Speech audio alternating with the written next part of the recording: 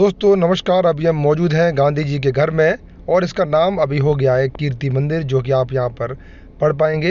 तो दोस्तों, आज यहाँ पर यहाँ की पूरी जानकारी देंगे। ये जो आप सामने देख रहे हैं बिल्डिंग, ये है कीर्ति मंदिर, जो किसी ज़माने में गांधी जी का घर हुआ करता था, लेकिन अभी म्यूज़ियम के तौर पर प्रसिद्ध है।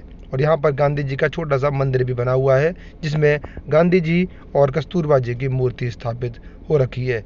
दोस्तों, अंदर घुसते ही आपको इस प्रकार का सामने पूरा व्यू मिलेगा। ये इसका आँगन है, जहाँ पर आप आसपास बहुत सारी गांधी जी की फ़ोटोज़ देख पाएँगे और उनके बारे में जानकारी प्राप्त कर पाएँगे। तो दोस्तों, यहाँ पे आप देख पा रहे हैं, टूरिस्ट काफ़ी सारे आ रखे हैं।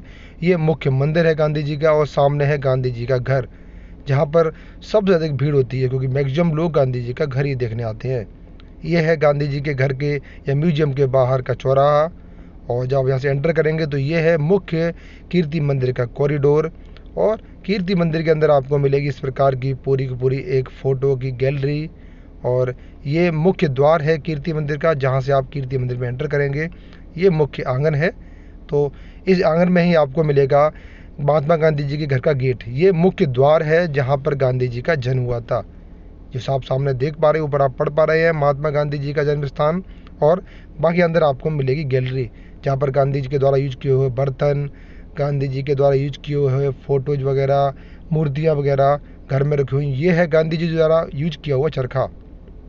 तो दोस्तों, एक बेहतरीन प्लेस है जहाँ पर आप आकर बहुत सारी जानकारी ले सकते हैं। अगर आप कभी पोरबंदर की तरफ़ घूमने आते हैं तो मेरी राय रहेगी, आप कहीं और जाएँ या ना जाएँ, वो आपकी मर्ज़ी। लेकिन कीर्ति मंदिर ज़रूर आएँ। क्योंकि यहाँ आते ही आपकी जो यादें हैं, गांधी जी की यादें आपकी ताज़ा हो जाएँगी। तो दोस्तों, अब मुलाकात होगी एक नए वीडियो के साथ, तब तक के लिए धन्यवाद।